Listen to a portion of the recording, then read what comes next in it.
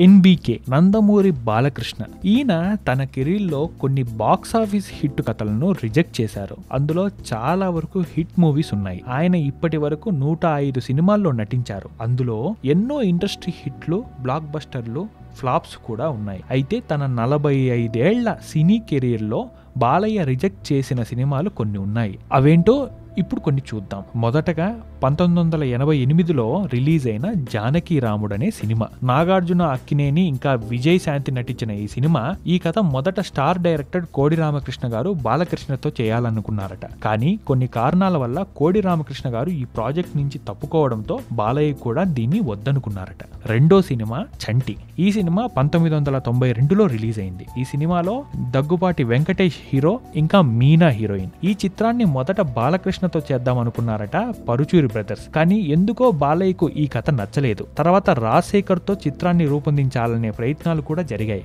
కానీ ఫైనల్గా వెంకీ చేయడం జరిగింది. ఇక మూడోది. రెండు వేల ఒకటి జులై ఆరున వచ్చిన సింహరాశి. డాక్టర్ రాజశేఖర్ ఇంకా సాక్షి శివానంద్ నటించిన ఈ చిత్రం మొదటగా ఈ చిత్రాన్ని దర్శకుడు సముద్ర బాలయ్యతో చేయాలనుకున్నారట. కానీ కొన్ని కారణాల వల్ల ఆయన నో చెప్పడంతో రాజశేఖర్ చేసి హిట్ కొట్టడం జరిగింది. ఇక నాలుగో సినిమా సూర్యవంశం. ఫిబ్రవరి ఇరవై ఐదు పంతొమ్మిది వందల తొంభై ఎనిమిదిలో రిలీజ్ అయిన ఈ సినిమాలో వెంకటేష్ దగ్గుబాటి ఇంకా మీనా హీరో హీరోయిన్లుగా నటించారు. మొదట ఈ కథ బాలయ్య దగ్గరకు వెళ్ళిందట. కానీ ఈ సినిమా పెద్దన్నయ్య అనే కథని పోలి ఉందని ఆయన నో చెప్పాడట. దీంతో వెంకీ ఈ సినిమా చేయడం అది బ్లాక్ బస్టర్ అవ్వడం జరిగింది. ఐదో సినిమా శివరామరాజు. రెండు వేల రెండు నవంబర్ ఒకటి రిలీజ్ అయిన ఈ సినిమా జగపతి బాబు హరికృష్ణ ప్రధాన పాత్రలుగా విడుదలైంది. ఈ చిత్రంలో హరికృష్ణ పాత్రకు ముందుగా బాలయ్యను సంప్రదించారట. కానీ అప్పుడే ఇలాంటి రోల్స్ చేయడం తనకి ఇష్టం లేదని బాలకృష్ణ తప్పుకున్నారట ఈ ప్రాజెక్ట్ నుంచి.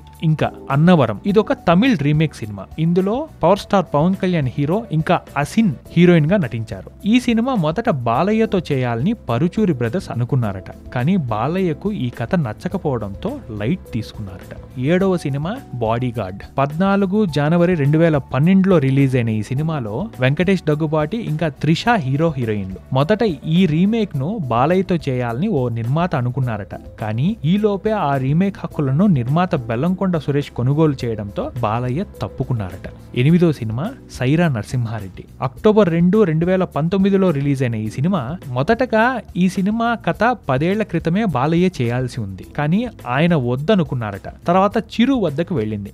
చాలా కాలం తర్వాత ఆయన ఈ సినిమా చేయడం జరిగింది. ఈ సినిమాలో మెగాస్టార్ చిరంజీవి హీరోగా హీరోయిన్ నయనతారగా చేసిన విషయం అందరికీ తెలిసిందే. ఇంకా తొమ్మిదవ సినిమా క్రాక్. జనవరి తొమ్మిది రెండు వేల ఇరవై ఒకటి పోయిన సంవత్సరం వచ్చిన ఈ సినిమాలో హీరో రవితేజ హీరోయిన్ శృతి హాసన్. దర్శకుడు గోపీచంద్ మలినేని మొదటగా ఈ సినిమాను బాలయ్యతో చేయాలనుకున్నాడట. కానీ బాలయ్యకి ఈ కథ అంతగా నచ్చకపోవడంతో ఈ ఇదే కథని రవితేజతో చేసి బ్లాక్ బస్టర్ హిట్ కొట్టాడు గోపీచంద్ మలినేని. ఇంకా పదో సినిమా సింహాద్రి. రెండు వేల మూడు జులై తొమ్మిదిన రిలీజ్ అయిన ఈ సినిమాలో హీరో వచ్చేసి ఎన్టీఆర్ ఇంకా హీరోయిన్ భూమికా చావ్లా. మొదటగా ఈ చిత్రం కథని బాలకృష్ణని దృష్టిలో పెట్టుకొని డెవలప్ చేసుకున్నారట రచయిత విజయేంద్ర ప్రసాద్ గారు. అయితే ఆయనే ఈ కథ డైరెక్ట్ చేయాలని అనుకున్నారట. కానీ బాలయ్య ఈ కథ విని నో చెప్పడంతో అది దర్శకుడు రాజమౌళి వద్దకి వెళ్ళింది. సినిమా బ్లాక్ బస్టర్ హిట్ కొట్టింది. చూసారా? ఇందులో చాలా వరకు బ్లాక్ బస్టర్ హిట్స్ ఉన్నాయి. కొన్ని సినిమాలు నేను చదువుతుంటే నిజంగా ఆశ్చర్యపోయారు కదా? అవి బాలకృష్ణ గారు చేసింటే మరింత బ్లాక్ బస్టర్ అయ్యేవి. సో బాలకృష్ణ గారు మిస్ చేసుకున్నారు. బట్ ఇప్పుడు రాబోయే బాలకృష్ణ గారి సినిమాలన్నీ బ్లాక్ బస్టర్ హిట్ కావాలని కోరుకుందాం. Thank you